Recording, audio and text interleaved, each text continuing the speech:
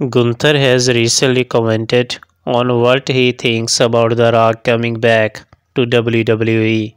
The Great One is set to make his in ring return on night 1 of WrestleMania 40, where he will team up with Roman Reigns to take on Cody Rhodes and Seth Rollins. During a recent interview with The Independent, Gunther commented on The Rock returning to WWE by stating that business was becoming and booming and fans were excited to have him back.